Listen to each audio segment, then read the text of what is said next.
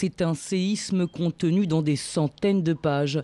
Deux fuites de documents exceptionnels. D'un côté, une base de données vraisemblablement téléchargée depuis le serveur central de la CENI, la commission électorale. De l'autre, des documents de compilation de la CENCO, la conférence épiscopale. Toutes les données convergent. Et si elles disent vrai, le vainqueur de l'élection présidentielle n'est pas Félix Tshisekedi. La CENI le crédite pourtant de 38,5% des voix le 10 janvier, en pleine nuit. Et proclamé provisoirement élu Monsieur Tshisekedi Chilombo Félix.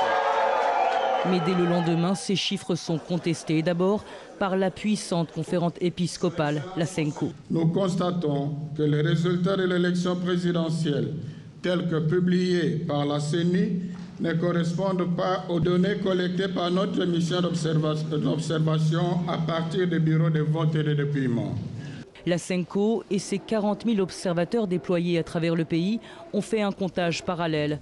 Les évêques disent connaître le nom du vainqueur, mais se taisent. Les données de la CENCO, auxquelles nous avons eu accès avec RFI et le Financial Times, elles, sont parlantes. Avec 62,8% des voix, le vainqueur serait Martin Fayoulou, comme il le clame depuis plus d'une semaine. Derrière, toujours selon les données de la Senko, le dauphin de Joseph Kabila, Emmanuel Ramzani Chadari. Et en queue de peloton, Félix Tshisekedi. La compilation de la Senko ne porte que sur 42,92% des suffrages, mais elle est représentative selon cet expert. La Senko a utilisé deux types de technologies. La technologie euh, de l'échantillonnage, qui est utilisé par ailleurs par les instituts de sondage, et une méthodologie plus massive qui consistait à rassembler le plus de PV possible à travers ses observateurs. Je pense que la Senco avait une juste approche des, résultats euh, de l'élection. Comparons désormais les données de la Senco aux 2000 pages attribuées à la CENI et qui portent sur 87% des suffrages exprimés. La corrélation est quasi parfaite. Exemple, capitale province de Kinshasa.